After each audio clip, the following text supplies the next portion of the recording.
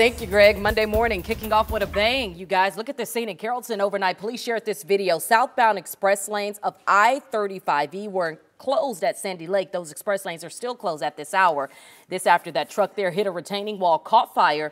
The driver was hauling produce. He is okay. Thank goodness. Southbound express lanes will not reopen for rush hour. So, of course, you guys know I've been keeping my eyes on this one, trying to see exactly what's going on. So, as we come into studio, I want to give you a live look out there. Again, 35 East southbound, those express lanes still currently blocked. You can make out, of course, those flashing lights there, although it's a little blurry on this camera angle. Good news is the north and southbound lanes on 35, those are still open. So, if you're coming down from Lewisville, moving through Carrollton on 35, take the main lanes, okay? Those are not having any issues out that way this morning. In addition to that one, this uh, crash here was reported not too long ago. Northbound Dallas North Tollway right at Keller Springs still has one lane currently blocked. That one, though, not causing major delays, so I'm going to give you the yellow light as you move through that area. We have a major closure happening on I-30 today until Wednesday. We also have some additional closures, nightly that is, on Dallas North Tollway. I'll tell you all about those when you see me again. Mark and Kara, back over to you. All right, thank you for that, Tashara.